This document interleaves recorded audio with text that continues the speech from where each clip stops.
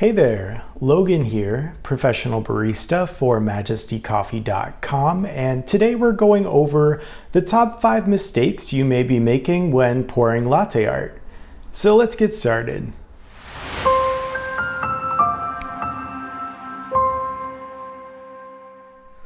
All right, so beginning with number one, the first mistake you may make is not pouring from a great height with a thin stream. What we want to aim for is that very thin stream from a greater height in the center of our vessel in order to create a nice even base. So we're going to try and pour directly into the center with that nice thin stream from this greater height, creating that nice even base like so. Notice how it didn't white out at all and we have a nice good surface in order to create latte art now. Our second mistake may be you could be steaming your milk too thick, too thin, too hot, or too cold. Any of these factors is going to contribute to a poorer version of latte art. So you wanna make sure you get the consistency of almost like a wet paint, like a very nice, fluffy, not too bubbly, and also not too thin texture. Really, this is what we call microfoam and is a standard latte consistency. This is the best type of foam for creating latte art, especially when you're going in with very thin lines like for a rosetta or a tulip. So experiment steaming your milk a few different ways, and if it comes out bad, remember you can always tap on the counter to eliminate some of those bigger bubbles.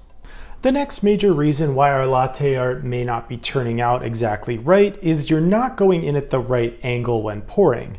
It's really important to tip both your vessel and your pitcher so you can really get in as close to the espresso as possible, sometimes even touching the spout to your actual vessel. If you don't do this and you keep too far away, what's going to happen is your design may turn out very small or you may not get any design at all. And if you pour too close the entire time, you may white out your entire vessel. The next important part is when you are finished steaming to tap out your big bubbles and keep your milk swirling in order to keep all of the milk incorporated. What happens if you let your milk sit for too long, it will separate and the larger bubbles will float to the top, creating a very thick layer of foam that when you start pouring, it's just going to white out your entire cup. So keep your pitchers swirling up until the exact moment you're ready to pour, and the faster you can go from steaming to pouring, the absolute better.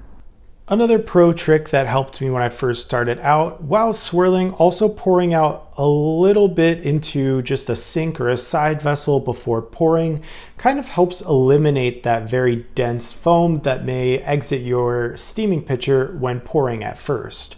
So just pour a little off the top, swirl again, and then pour into your vessel. Though eventually you want to work up to the point where you don't need to do this anymore, though it was helpful for me when first starting out. The last major mistake we may be making is trying to create your design too early or too late in the whole process. A good rule of thumb to start is to fill your vessel to about the halfway mark before you actually start to try and create your design. So let's show you what that looks like high and concentrated in the center, halfway, dip in, create your design, lift up and bring your vessel back to the perpendicular position and you'll create a really nice design. So there you have it. There's the major five mistakes that I've noticed from my decade of barista experience. There are obviously a lot more, but this was just a nice little list to help you figure out what you may be doing wrong and improve your latte art game. So I hope I've helped you figure out one of the mistakes you may be making and how to better improve your latte art. Whether you're a business owner trying to wow your customers or a home user trying to take your espresso to the next level, our Latte Art Mastery course was designed specifically with you in mind. Try it for 30 days, and if you're not completely satisfied, it's totally free, no questions asked. Check it out on majestycoffee.com slash latte. Thanks for joining us, and we'll see you in class.